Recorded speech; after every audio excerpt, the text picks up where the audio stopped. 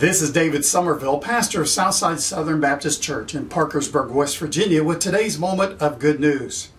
There was a spider who just made a new web, and he saw a fly passing by, and he invited the fly to come into his new home and sit a spell. The fly, however, was very clever, and he said, No, sir, I don't see any other flies in your house, and I'm not going to be in there alone. But then the fly continued on his journey and he saw a large crowd of flies dancing on a piece of brown paper. And so he flew by there and he came in for a quick landing.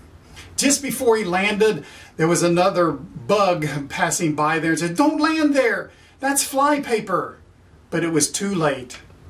The fly said, No, no, all my friends are there dancing. It can't be that bad. That many flies can't be wrong.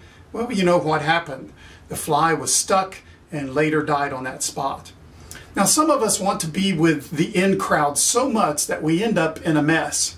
So take a look at your life today. Are you being influenced more by the world or more by God? If it's the world, watch out. This moment of good news is brought to you by Southside Southern Baptist Church in Parkersburg, West Virginia. I'm Pastor David Sommerville.